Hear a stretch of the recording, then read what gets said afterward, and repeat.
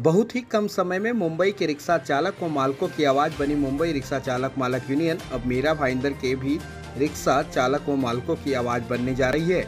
आज मीरा रोड के पूनम सागर कॉम्प्लेक्स में समाज सेवक स्वप्निल शुक्ला के कार्यालय में यूनियन के अध्यक्ष विजय शंकर मिश्रा व अन्य पदाधिकारियों की मौजूदगी में बैठक हुई। इस बैठक में मीरा भाईंदर के रिक्शा चालक व मालकों की समस्याओं को लेकर चर्चा हुई।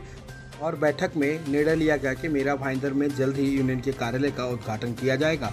वहीं समाज सेवक स्वप्निल शुक्ला ने विजय शंकर मिश्रा व यूनियन के साथ कंधे से कंधा मिलाकर मेरा भाईंदर के रिक्शा चालक व मालकों की हक की लड़ाई में उनके साथ खड़े होने की बात कही और यूनियन की प्रगति के लिए विजय शंकर मिश्रा को शुभकामनाएँ दी।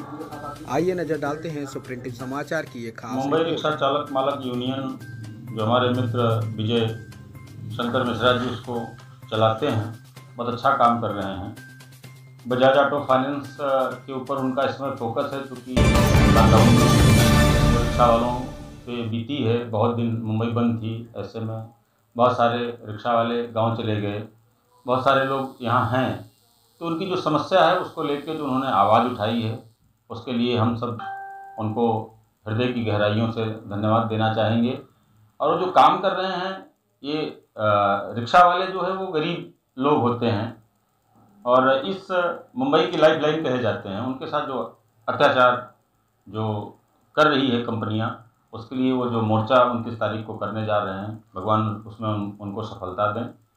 और हम मीरा भाईंदर के लिए भी मिश्रा जी को ये चाहेंगे कि वो इस शहर की भी जो समस्याएँ हैं रिक्शा वालों की क्योंकि शहर में भी रिक्शा वालों को बहुत समस्याएँ हैं बहुत सारी दिक्कतें हैं उनको। परमिट है, नहीं है, बिना परमिट के चलता है, पुलिस वसूली करती है पुलिस के सेटलमेंट पे चलता है, बहुत सारी ऐसी समस्याएँ हैं मीटर की कई सारी समस्याएँ हैं।